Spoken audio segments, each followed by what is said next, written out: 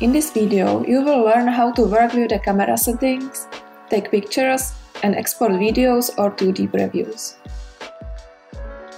Before we start, save your work by going to the top menu, clicking on the disk icon, selecting a new project slot, and hitting the Save button. Next, head to the camera section. On the left you can see the camera features, photo, video, angle presets, and 2D preview. Each feature has its own Save As and camera settings windows. Let's start with the camera settings. In this section, you can zoom in or out and adjust the aperture. A lower value here means a higher amount of blur in the background. You can also change the arm length, which is basically how far the camera is from the car. You can keep an automatic focus or switch to a manual. If you choose a manual focus, turn on the help plane to see where the focus is placed. Move the plane by changing the distance.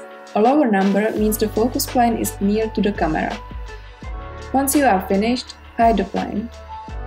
Other settings which you can adjust are roll, pitch, and yaw. In the Save As window, you can set the frame size and resolution, enter a file name,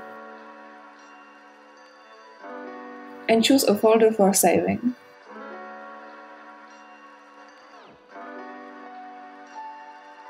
To take a photo, click on the Take Shot button. Go to Video to see the video sequences. You can choose from slow, fast, handheld sequences, or rotations around the car. Preview a sequence by sliding on the timeline or hitting the play button. The sequences are editable, so you can change the camera settings, frame size, and the resolution too. Once your sequence is ready, click on the Export Video button.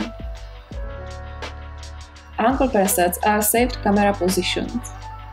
You can choose from 9 views, which you can edit in the camera settings. Once you take a picture, close the camera. By creating 2D previews, you can export more views of the car at once. Hit the Render Preview button and wait until the views are ready.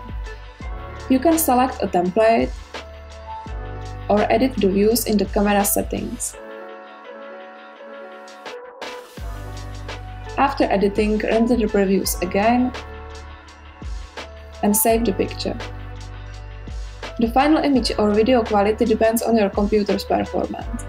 We recommend having a powerful graphic card, like the NVIDIA GeForce RTX 2060 or higher version.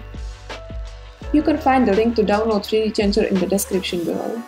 And if you enjoyed this video and want to see more content about 3D Changer, don't forget to like and subscribe. Thanks for watching.